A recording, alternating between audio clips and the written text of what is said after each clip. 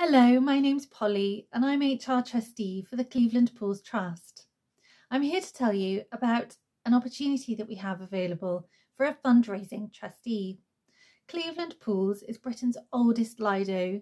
It's been closed to swimmers for 40 years, but we're very excited to be in the final stages of restoration and we cannot wait to reopen to the public, hopefully later this summer.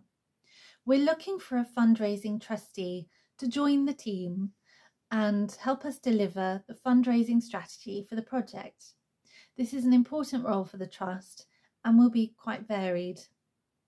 You will get involved with uh, identifying fundraising opportunities and planning a fundraising programme, as well as attending trustee meetings and other activities involved in the overall management of the Trust.